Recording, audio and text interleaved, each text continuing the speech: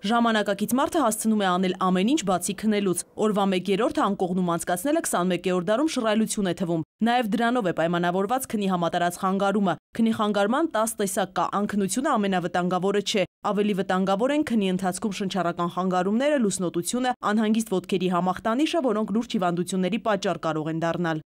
Ուղղակիորեն կարելի ասել կապ ունեն շատ այլ կարևոր առողջապահական խնդիրների հետ, օրինակ սրտանոթային եւ նյարդահանոթային համակարգի խնդիրները, սարկայական գերճնշումը, շաքարային դիաբետը, տարբեր նյարդահոգեկան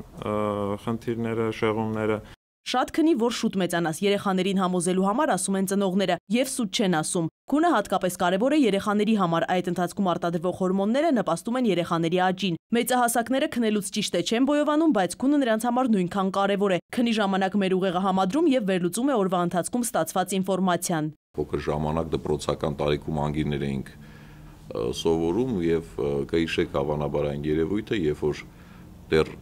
չքնած այդքան էլ լավ չէր ստացվում, իսկ առավոտյան հրաշալի ամեն ինչը դուրս է գալիս։ Լավ ինքնազգացողության համար մասնագետները խորհուրդ են տալիս քնել 5-ից 8 ժամ։ Հիվանդության եւ վաղաժամահացության թիվը մեծ է այն մարդկանց մոտ, որոնք քնում են 5 ժամից պակաս կամ 8 ժամից ավելի։ Քնի խանգարումները կարելի է բուժել դեղերով։ Սասուն Խաչատրյանը խորհուրդ չի տալիս չարաշահել բուսական միջոցները։ Դա հակառակ էֆեկտ կարող է ունենալ։ Մեր դեղատներում քնի ոչ բոլոր խանգարումների համար դեղորայք կա։ Օրինակ նարկոլեպսիայի դեմ, երբ մարդ անընդհատ ցանկանում է քնել եւ կորցնում է կյանքի ռիթմը, Հայաստանում դեռ դեղ չեն վաճառում։ 2000 բնակչից մեկը կարող է ունենալ այդ խնդիրը,